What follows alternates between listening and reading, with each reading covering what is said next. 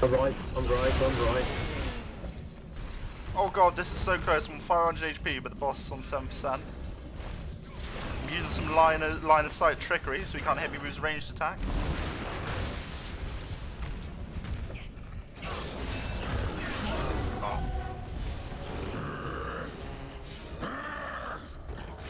Told me, guard this place until the shield is up. You fought well, but I did it. And soon the demon god Lok will resurrect me. You haven't won at all.